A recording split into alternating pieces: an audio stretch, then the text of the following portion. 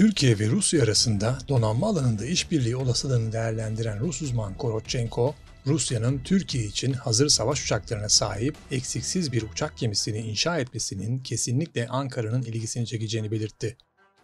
Ayrıntılara geçmeden önce videomuzu beğenip kanalımıza abone olmayı unutmayın.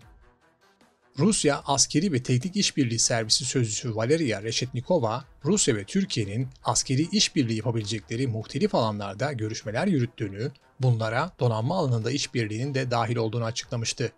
Moskova konumlu Dünya Silah Ticareti Analiz Merkezi Direktörü emekli albay Igor Korotchenko, Rusya'nın Türkiye'yi askeri tehdit işbirliği alanında önemli bir ortak olarak gördüğünü belirterek, Türkiye'ye S-400 hava savunma füze sistemlerinin ilk alayının tedariğine ilişkin sözleşmenin başarıyla uygulandığını gördük. Hali hazırda ikinci alay için görüşmeler devam ediyor. Türkiye 5. nesil savaş uçağı Su-57'ye de ilgi gösteriyor. Bugün özellikle doğal gaz sahalarının korunması başta olmak üzere Akdeniz'deki ekonomik çıkarlarını savunmak ihtiyacı duyan Türkiye, deniz kuvvetlerini aktif olarak güçlendirmekte. Bu bağlamda Rusya'nın donanma alanındaki teknolojileri Türkiye tarafından talep görebilir. Hatta Rusya, Türkiye'nin siparişi üzerine bu tür güç yansıtma görevlerini yerine getirmesi amacıyla hazır savaş uçaklarına sahip eksiksiz bir uçak gemisi inşa edebilir yorumunda bulundu.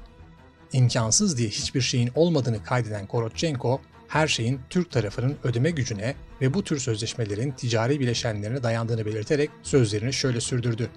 Her alanda silah ihracatı sadece bir politika değil, aynı zamanda bir iştir.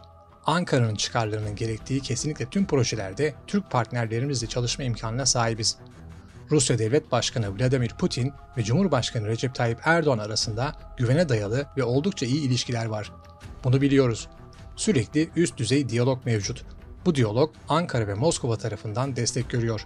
Bu nedenle politik açıdan donanma alanında Rus-Türk askeri ve teknik işbirliği geliştirme önünde hiçbir engel yok.